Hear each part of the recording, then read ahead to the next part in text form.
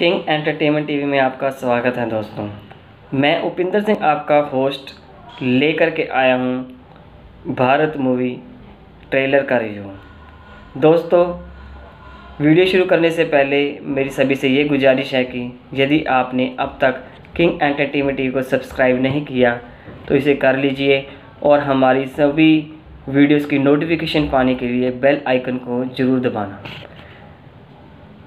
A journey of a man and a nation together जी हाँ दोस्तों, ये फ़िल्म की टैगलाइन है और ये सलमान खान की ब्लॉकबस्टर मूवी होने जा रही है, जो कि ऑल टाइम ब्लॉकबस्टर होगी। और अगर मैं इसकी बिज़नेस की बात करूँ, पहले ही ये 200 करोड़ से 250 करोड़ तक जा सकती है, क्योंकि ट्रेलर ही इतना ज़बरदस्त है इतना एक्शन से भरपूर है कि हम ये बात डिनाई नहीं कर सकते।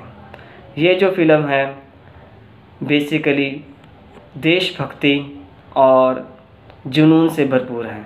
इसमें ढेर सारा एक्शन देखने को मिलेगा और इसमें बताया गया है कि उनके जो पिता हैं, उन्होंने उनका नाम भारत क्यों रखा?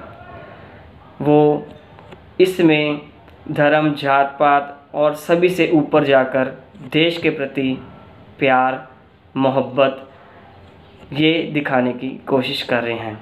देशभक्ति इस फ़िल्म में ज़रूर नज़र आएगी और सभी देशवासियों को ईद के दिन, यानी पाँच जून 2019 को इस फ़िल्म को देखने का मौका मिलेगा।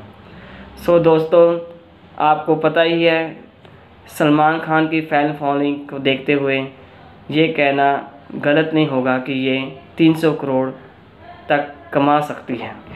और इसको मैं 4.5 स्टार देना चाहूँगा। Thanks for watching. Keep sharing.